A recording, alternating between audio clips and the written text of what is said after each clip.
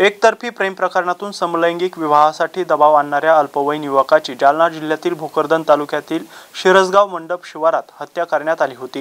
या प्रकरणातील आरोपीला स्थानिक गुन्हे शाखा पोलिसांनी बेड्या ठोकल्या आहेत.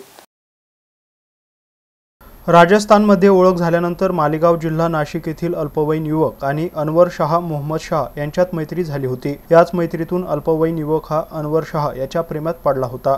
आणि अनवर शहाकडे समलैंगिक विवाहासाठी तगादा लावून धरला होता. मात्र अनवर शहाला हे मंजूर नसल्याने त्याने अल्पवयीन मित्राला दहा ऑक्टोबर रोजी भेटण्यासाठी बोलावले.